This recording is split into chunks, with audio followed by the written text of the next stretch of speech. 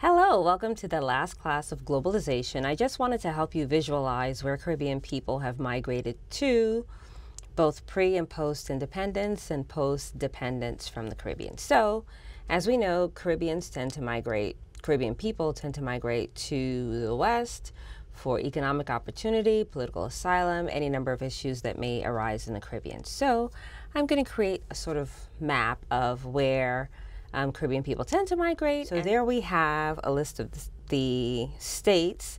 And as you can imagine, if we were to delve any further, the majority of Caribbean people can be found in New York City,